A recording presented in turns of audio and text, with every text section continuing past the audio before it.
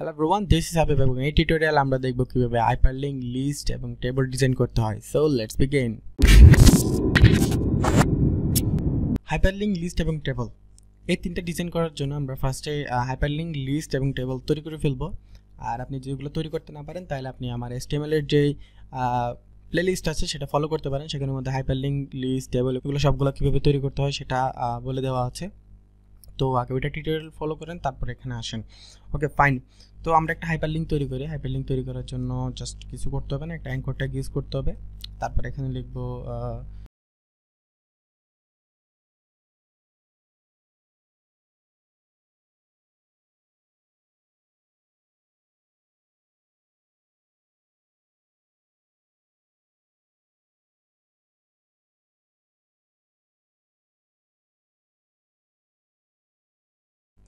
ওকে so আমরা তৈরি করলাম একটা হাইপার লিঙ্ক একটা আনঅর্ডার্ড লিস্ট এবং একটা টেবল তৈরি করলাম।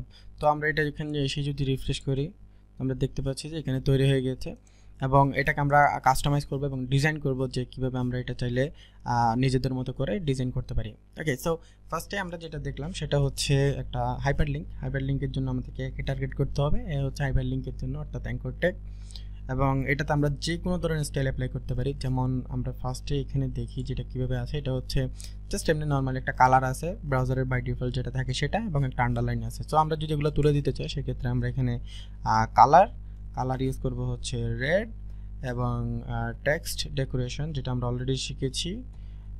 টেক্সট ডেকোরেশন নান সিম্পলি এগুলো জাস্ট উঠে যাবে।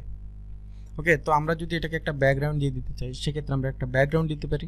তো ব্যাকগ্রাউন্ডের জন্য আমরা এখানে দিলাম হচ্ছে এফ এফ এফ কিংবা আমরা দিতে পারি হচ্ছে zero zero zero black okay তো আমরা যেভাবে চাই, সেভাবে আমরা চলে কাস্টমাইজ করতে পারি। আর একটা ইম্পর্টেন্ট যেটা, সেটা হচ্ছে অ্যাঙ্কর সবসময় একটা ইনলাইন আকারে থাকে ডিসপ্লে ইনলাইন ব্লক যেটা আছে সেটা না ডিসপ্লে ইনলাইন যেটা আছে সেটা।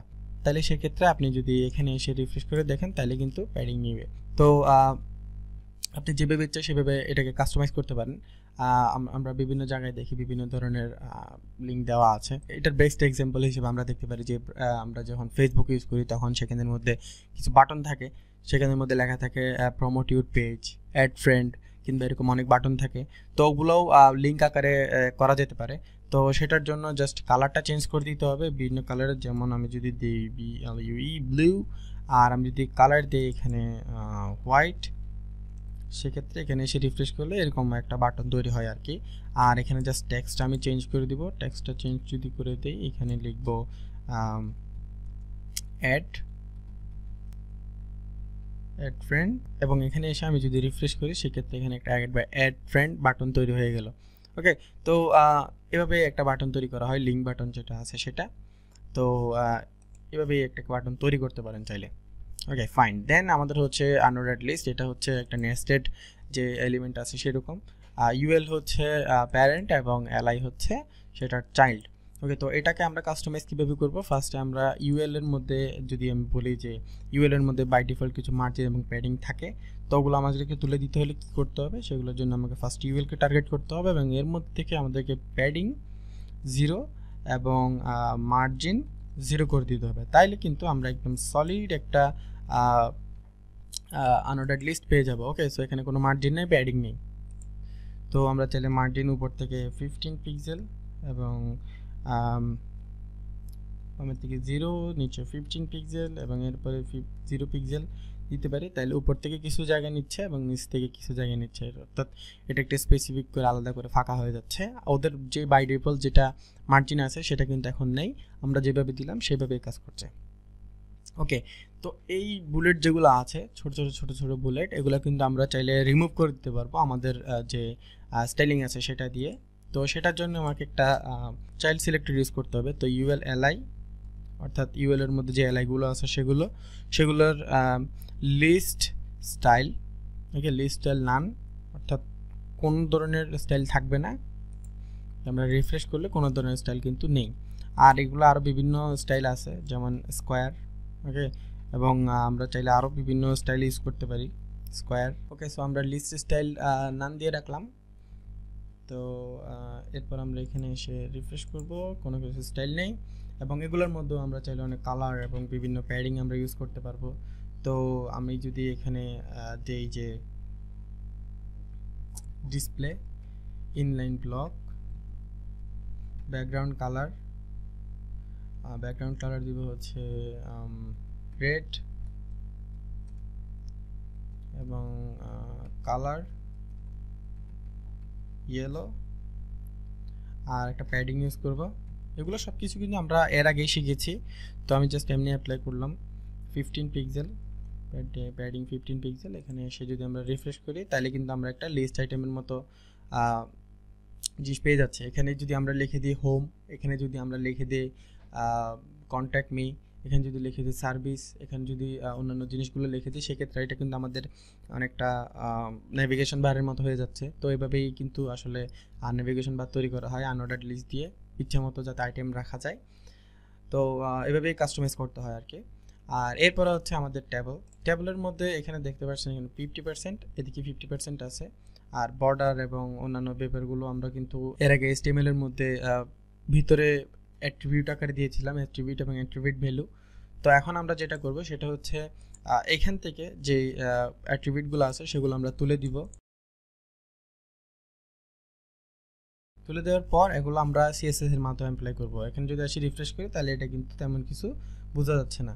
ওকে তো আমরা এখানে এসে যে ট্যাবল আছে সেটাকে ডিজাইন করব। সো ট্যাবল ডিজাইন করার জন্য ট্যাবলকে টার্গেট করতে হবে। ট্যাবলকে টার্গেট করে এখানের মধ্যে আমাদেরকে স্টাইল অ্যাপ্লাই করতে হবে। আমরা যদি এখন দেই border one pixel solid just something like কী কালার দেওয়া যায়? ব্ল্যাক কালার দিলাম ওয়ান পিক্সেল করে হবে। তো এখানে এসে আমরা যদি রিফ্রেশ করি, তাহলে এখানে কিন্তু একটা বর্ডার চলে আসছে। তো বর্ডার আসছে শুধুমাত্র ট্যাবলের মধ্যে। এখন আমাদের যদি ট্যাবলের পরে ট্যাবলের মধ্যে যে টেবল রোগুলো আছে, সেগুলোর মধ্যে বর্ডার দরকার হয়, তাহলে আমরা দিতে পারব।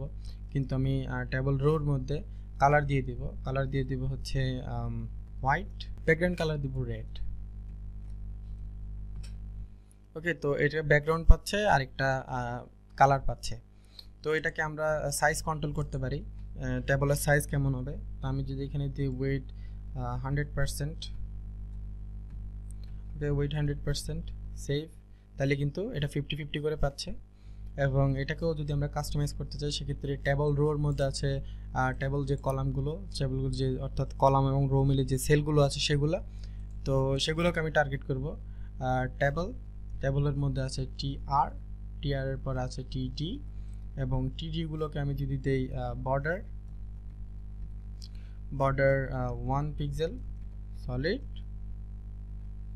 black okay তো টেবলের যে সেলগুলো আছে, সেগুলোর মধ্যে যদি একটা একটা করে বর্ডার থাকে, তাহলে আমাদের কিন্তু আর এই যে টেবলের যে বর্ডার আছে সেটা দরকার পড়ে না। কারণ অলরেডি সেলেরগুলোর মাধ্যমেই আমরা কিন্তু টেবলের একটা বর্ডার পেয়ে যাচ্ছি। তো আমি এটাকে ডিলিট করে দিই। সেভ রিফ্রেশ এখানে কিন্তু আমরা একটা করে বর্ডার পাচ্ছি। ওকে তো এখন আমাদেরকে যেটা করতে হবে, সেটা হচ্ছে এই যে আমরা ব্যাকগ্রাউন্ড ইউজ করেছি, সেটাকে আমরা চাইল্ডের মাধ্যমে চেঞ্জ করে দিব। ওকে তো সেটার জন্য আমরা কি করব? এখানে জাস্ট একটি আর এর মধ্যে একটা সিলেক্টর ইউজ করব, সেটা হচ্ছে NT H child NT H child দিবে হচ্ছে ইভেন এবং সেম জিনিসটাই আমরা অ্যাপ্লাই করব হচ্ছে অর্ডের মধ্যে। অড আর এটির কালার কালার হয়ে যাবে ইয়েলো এবং ব্যাকগ্রাউন্ড কালার হয়ে যাবে ব্ল্যাক ওকে এটা কিন্তু আমরা শিখেছি যে এগুলো, এটা কীভাবে কাজ করে। আমরা গত টিউটোরিয়ালে শিখেছি, তো এখানে অ্যাপ্লাই করলাম যাতে ঠিকমতো বোঝা যায়। আর এই জিনিসটাকে আমি এখানে কপি পেস্ট করব অনেকবার। ওকে তো এখন আমরা ক্লিয়ারলি বুঝতে পারব। রিফ্রেশ তো এটা কিন্তু ভিন্ন ভিন্ন ধরনের হচ্ছে। এটা এক কালার এটা এক কালার এটা এক কালার এটা এক কালার বিভিন্ন কালারের মধ্যে আমরা বুঝতে পারছি যে এটা আমাদের টেবল এবং ভিন্নতা চলে আসছে। তো এভাবে চাইলে আমরা হাইপার লিঙ্ক লিস্ট এবং টেবল ডিজাইন করতে পারি। এখন যেহেতু আপনি জানেন যে কীভাবে ডিজাইন করতে হয়, আমি জাস্ট একটা ডিজাইন করেছি আপনাদেরকে জাস্ট বোঝানোর জন্য। এর চেয়ে অনেক সুন্দর সুন্দর ডিজাইন আপনারা চাইলে করতে পারেন। তো নিজে প্র্যাকটিস করতে থাকেন, তা আরও সুন্দর জিনিস তৈরি করতে থাকেন তাহলে কিন্তু আপনি শিখতে পারবেন। তো এই টিউটোরিয়ালে আমরা এতগুলো জিনিস শিখলাম। নেক্সট টিউটোরিয়ালে আমরা শিখব পজিশনিং নিয়ে। তো এটা হচ্ছে খুবই ইম্পর্টেন্ট টিউটোরিয়াল যেটা ফলো করতে হবে। অ্যাডভান্সে আমরা যদি যেতে চাই, সেক্ষেত্রে আমাদেরকে পজিশনিং অবশ্যই অবশ্যই জানতে হবে। তো এই টিউটোরিয়াল জন্য এতটুকুই। Thank you very much for watching don't forget to subscribe and I in the next one